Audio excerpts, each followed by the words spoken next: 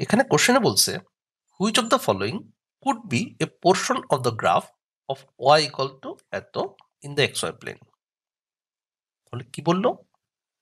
অপশনের কোনটা হবে?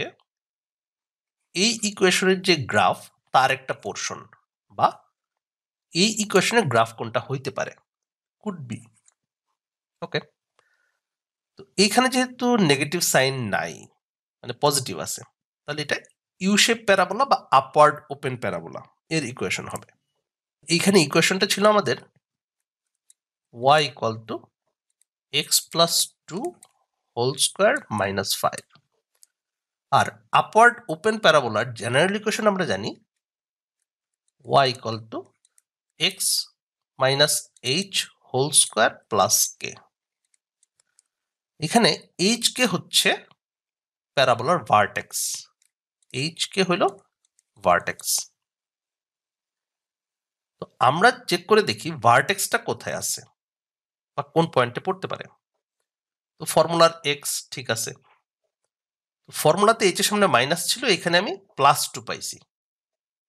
তাহলে এইচ এর ভ্যালু হবে এখানে মাইনাস টু এইচ যদি মাইনাস টু হয়, তার সামনে মাইনাস মাইনাসে মাইনাসে প্লাস হয়ে যাবে এক্স প্লাস টু আর কে হচ্ছে ফর্মুলাতে ছিল কে সামনে প্লাস কিন্তু এখানে আছে আমার মাইনাস ফাইভ তাহলে কে এর ভ্যালু হচ্ছে মাইনাস ফাইভ ওকে তাহলে এইচ হইল মাইনাস টু কে হইল মাইনাস ফাইভ এইটা আমাদের এইচ কে এর ভ্যালু তাহলে চেক করে দেখি প্যারাবোলার ভার্টেক্সটা কোথায় হয়।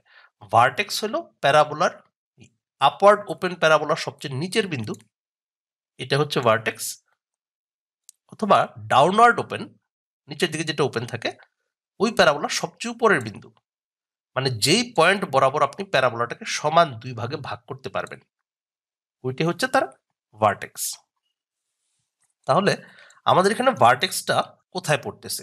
এইচ কে তাহলে এইচও নেগেটিভ কেও নেগেটিভ ভার্টেক্সটা কোঅর্ডিনেট হলো মাইনাস টু মাইনাস ফাইভ তো এইখানে তো হচ্ছে ওই ভার্টেক্সের এক্সের ভ্যালু জিরো ওয়াই নেগেটিভ যদিও, তাহলে এটা হচ্ছে না।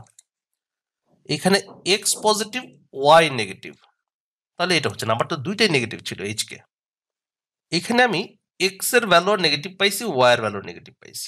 এইচকে দুইটাই নেগেটিভ ওই মাইনাস টু মাইনাস ফাইভ হবে এখানে। তাহলে এইটাই ভার্টেক্স মিলতেছে, এটা আমার অ্যান্সার হইতে পারে। আর অপশন ডিতে হচ্ছে এখানে এক্সের ভ্যালু পজিটিভ ওয়াই পজিটিভ দুইটাই পজিটিভ মিলে নাই, তাহলে এটা অ্যান্সার হবে না। এখানে x negative but y positive তাহলে এটাও মিলে নাই, এটাও বাদ। তাহলে অপশন সি হচ্ছে অ্যান্সার ওকে থ্যাংক ইউ